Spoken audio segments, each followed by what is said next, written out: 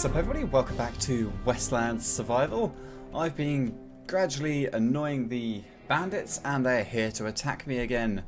In the meantime, I've also been doing a bit of work on the defences. So if you see, we've got our barbed wire going all the way around the front there and going all the way around there and then we've got spikes there. Also done a bit of work on the storage of the base. We've now got two big boxes and we are completely maxed out on the medium boxes as well. Voice crack there. And we are also maxed out on the small boxes, so currently we are completely maxed out on storage, which is a little bit of a shame. Now, in order to get the bandits attacking us, I do need to go out onto the main map and then come back in. I think. From what I can tell. Oh yeah, so I actually have information about this. You do not have to log on dead on seven hours or have the bandits destroy everything. What you can do is just have them angry at you, and then they will spawn in the next time you come back to the game. So they will not attack if you are not there. Hello, Thug. So uh, this is wave number three. Then it is the fourth wave that will have apparently some goons attacking us as well. Uh, is there another one up there? There is. Gradually break it down. Oh, what's he doing? We don't want to let them escape because then we're not going to get over to their bandit stash. Now, where are they? Oh, here they are. Pushed through. Hey, don't break that. Now, we got any more? I feel like they're going to be around somewhere. Oh, one thing I've discovered that is incredibly annoying. Bandits... Um, hello. What are you doing over here? Well, that was a little bit weird. Damage dealt. Thug. 250, 200, 200, 212, 258, 225. Awesome. Rest in peace, Thug. Is that the... That is. That's the armoured cap. You know what? I am pretty happy with that because the armoured cap, that costs to make two steel plates. And then to upgrade it and get its full durability back, that will just cost 3 steel. So if we can get a full set of armoured stuff... No, we won't. I think we'll probably end up getting a few caps from each of them, maybe. So we're just going to need to repair these. You know what? I'll do that off camera, because I doubt you want to watch that. Reinforce leather, and then jeans, and we can reinforce the jeans. Yeah. So we can reinforce the jeans to restore their durability. There's the map, bandit stash coordinates. Perfect. Let's take these. Let's take the jeans. Reinforced leather boots. Can't make them any stronger. And take that armor cap. Drink up some water. Now we'll take the jeans. Right. Oh yeah, and of course there's this one dead over here as well.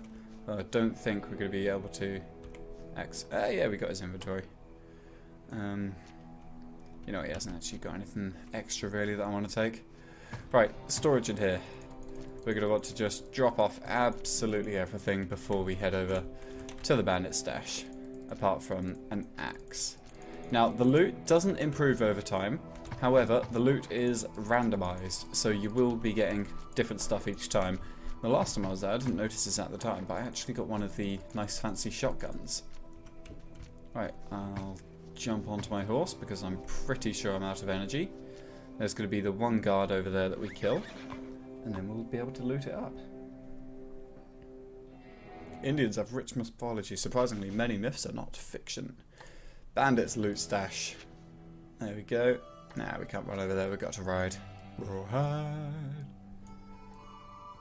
I was at the Spirit Cave, not the Spirit Cave. The, um, my brain's died. Canyon Trials earlier. I have never once taken part in the Canyon Trials because I just haven't had enough loot or gear to be able to do it. I've spent today grinding. I've got myself loads of wood and I'm starting working on getting charcoal and everything set up. Now why does my horse sprint across the entire location and wait there? That's a bit weird if you ask me. Hey watchman! And you're dead. Sorry. That was a bit mean of me. We're going to leave the main box to last. Make sure we get all the trees and everything beforehand. This game is so dark at night. I mean, I know it's night time, so it's going to be dark, but jeez. It's five hits? Yeah, it's five hits to break a tree here. I like it. Eight hits and ten hits to break things is way too many. Uh, that's a bit of copper. I'll take that. I think that's the first time I've gotten copper from here. I still haven't got the improved foundry made because it needs, I think it's a full stack of wires and I've been trying not to use all of my wire because I need them for defences. And as you saw, the iron stakes, even though they're, I'd say semi-expensive to make, they get destroyed so easily. So you really are going to need to defend your base multiple layers of defences. And at the moment, bandits can open your doors. No idea why, but they can. So I'm also going to have to be working on a complete redesign for my base to try and counteract that. Right then, let's get the main loot box in the bandit's messy house. Uh, nothing that good this time. Two colts, another set of this armor, some herbs. I mean, it's nice bits, but I would much prefer some of the other items. But you know what? Since that cost me absolutely nothing to get, I'm happy with it. I'm going to drop a few bits off in my pony. I'm calling this a pony now. I am aware it's a horse before you start attacking me in the comments. Uh, what was it left in there? I think some glycerol? Something like that. What have we got? There is still Yep, glycerol, that, and that. And you know what? I'll take the bridle as well, just in case we get another use for it in the future. Even though I've already got them. Right, I'll hop back over to the base, and I'll see you there.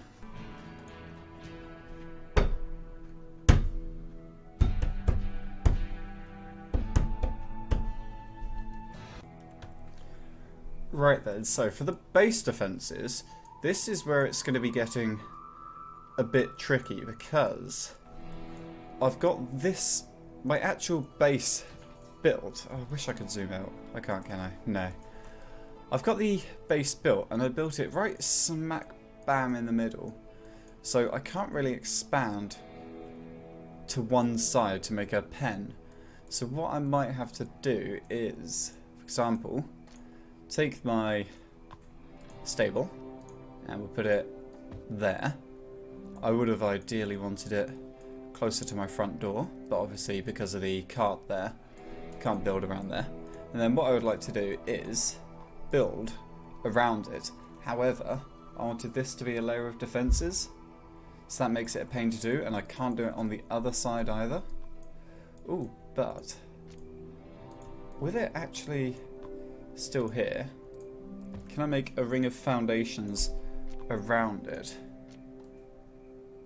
Hmm. Maybe, actually, this might work. Might work. So what I would do is make basically a separate, an outer wall around my entire base. So I'd have it there, like this, for example, going all the way around. And it's just annoying because then it means I've got that one little gap there and then the walls. So right, what I'm going to do is take a few minutes off camera to try and sort through this all and come up with some kind of design that I like, just out of twig for now, and then work on upgrading it. So I'll see you all in a moment.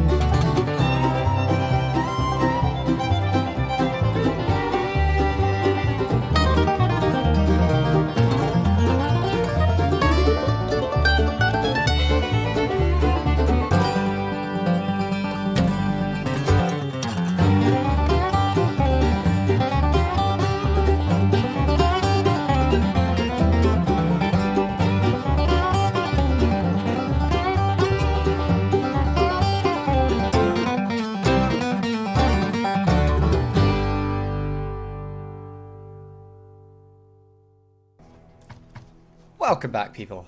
So, I'm mostly done with the redesigning. I hope you enjoyed that little time lapse there. Oh, hang on. We can't have this. We've got some of our some of our lovely furniture out there. Let me um furniture mode. Grab that. Stick that there. Grab that one. And stick that there. You know what? Let's um let's have them both like that. There we go. And then we'll stick our Yep, that's good there. Stick our meat dryer there. Put our well up. Hmm, where can we fit the well? We can fit the well there. And let's put this one here. Perfect. And we'll put that. Oh, you know what? I actually like the well to go in this spot here. Excellent. And then we will rotate that. So, what I've done, I've surrounded the entire base with these twig walls. And I've even put in a little section here so we can get to the cart. Because if you didn't know, on Westland you can actually build in front of the cart like that. Which is something that would have made my life so much easier on Lost NF. But look how much space this cart takes up. I'm pretty sure it takes up all that. Let me just try. Okay, so we can build in there. We can build there. Okay, so I was an idiot and actually accidentally shrunk this down more than I had to. Let me, um... Let's fix this quickly. So if we demolish that one, that one, that one, hmm. Yeah, and then just these corner ones here. Base redesigning takes a lot of resources. There we go. That's just brought us even more space out here. Ooh, let's bring that one back in. Let's put a doorway. Uh, no, it's not going to let us. Oh well. Let's shove a door right there. So we'll come out next to where the sheriff guy will be. Now, what I was considering is, should I put defences here? Or just straight up wall that in? You know what? Walling it in works. I think that works quite well. Requires basic floor. Okay, that doesn't mean requires basic floor. That means I ran out of wood in my inventory. No idea why it gives you that message, but it does. Now, uh, inventory would just be able to... Yeah. So this base designing doesn't really cost you anything apart from the wood for the foundations because twig walls, you can just pick them all up instantly.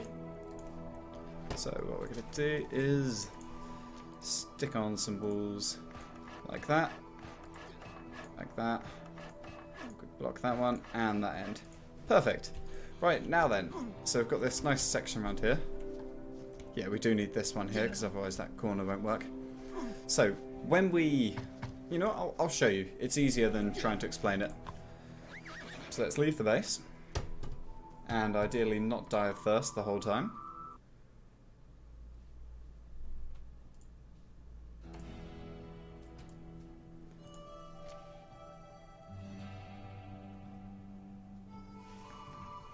Right, so upon loading into your base, you will spawn in, once you have made it, at your welcome post, which is, let's see if we can find it, the spawn post here. Pretty cheap to make. For, yeah, pretty cheap to make. I'm not going to say for most people, that just is cheap to make. And then, you can leave. See, now I can't leave because I've completely blocked myself off from the exit.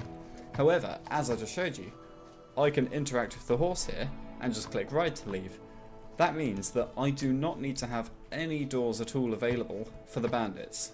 Because, as you know, the bandits can open your doors, which is incredibly annoying, but hey ho, not the end of the world, if you design your base quite smartly. Which I'd like to say I have. There's probably, oh, definitely room for improvement, but I can fill this area with more defences, and even boxes if I wanted to. But I am really happy with this. See, I've already got more space in there for upgrading my storage. So, the rate, the bandits, I keep calling them raiders, bandits, when they come in, they're going to be faced with my line of barbed wire out the front, which they're going to run through, and then they're going to start breaking my twig walls, which isn't very nice, but twig walls, incredibly cheap to replace. I actually don't need that one there. Let's get rid of that. And let's put that there. Perfect. Patched it all up. So yeah, I'll just end up moving those bits of furniture around. So we'll spawn in here and we are never going to need to leave the map at the edges because every time we're just going to interact with the horse. And when I need to repair bits after they're broken, I'll just pick them up in furniture mode, place them down in here, and then repair them. I am actually really happy with how this has turned out. I was expecting it to be an utter disaster. Uh, let's have it like that so you can actually use the bucket to get the rope out of the well. Use the rope to get the bucket out of the well. Said that the wrong way around. Now, does my horse actually take up this much space? Yes, it does. Okay. It's a shame the horse doesn't actually go into the stable. That would have been useful if it did. Just free up a little bit more room. But yeah, I am genuinely really happy with this new design for a base. It is going to take a very long time, however, to get all the floors upgraded and the walls as well. But I think I'm going to start out by just focusing on getting all of the floors to level 2. That way I'm not going to have wood getting wasted. So for example if I put all of the walls to level 1 and then upgrade some of them to level 2, when the bandits come they're just going to break the level 2 walls. Whereas if I do the floors first, then they're not going to break the floors every single time. And because I'm going to be farming resources to do this, I'm going to be angering the bandits quite a bit. So let's do this quickly. So I think we'll start with upgrading probably this corner. See, I'm not sure if I like this area here. Because, hmm, I'd have to bring it in one more that way, which gives me a very narrow walkway there, which is what I didn't like. But I could just put the defences along there. Nah, you know what? I've done it. I'm going to stick to it. Worst comes to it, I'll have to tear it down again. But I'm sure that won't be the end of the world. There we go. We've already started the process of doing our floors. And we've got all of our lovely furniture and our nice boxes. So I didn't realise this. These boxes are maxed at 20. That is nowhere near enough. So if you look here, max 20 of them, 20 out of 20 of them, and then you got the large boxes, big box, which are not limited. You can have as many of them as you like. However, Maple is currently not in the game. So you can't have as many of them. However, that's been quite cheeky here, and you can buy the the um, big box for four pound.